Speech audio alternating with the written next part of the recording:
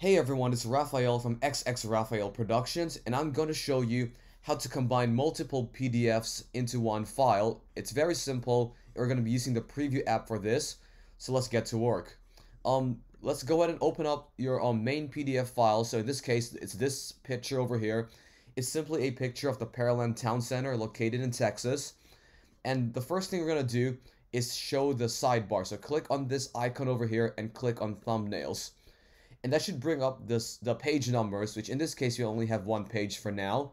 But the next thing we're gonna do is um, make sure you have your um two PDFs or whatever amount of PDFs you want to add. So simply drag in what you want for your next page. So in my case, I will do the second PDF. I'll simply just drag that onto the sidebar and that should add a second page automatically.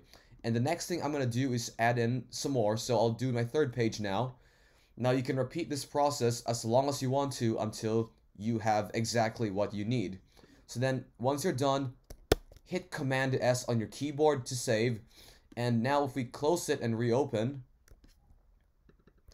it should show that all the um the PDFs that I just showed you are all combined into one file. So as you can see, it's very simple, not no um extra like application or anything, no other extra software to download. It's simply just drag and drop.